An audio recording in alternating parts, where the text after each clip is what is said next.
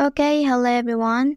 Here I want to provide a tutorial on how to change the wallpaper on the Infinix Note 30 NFC device.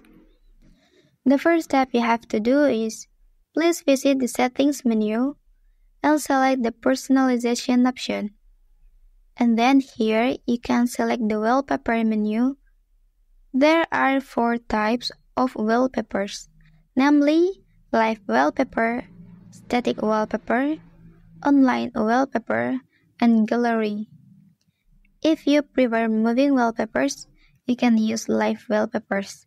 But if you want elegant wallpapers, you can use static wallpapers. Then if you want to find more wallpapers, you can access them at online wallpapers. Finally, if you want to use your own image, then you can use the photo in the gallery. The last step, choose the wallpaper you like and then just apply. And the new wallpaper will appear on the front of your device screen. Well, that's the tutorial on how to change the wallpaper on the Infinix Note 30 and NFC device. And just for your information, that this method you can also apply on Infinix Note 30 and Infinix Note 30 Pro device. If you are helped by this video, don't forget to subscribe this channel. Thank you.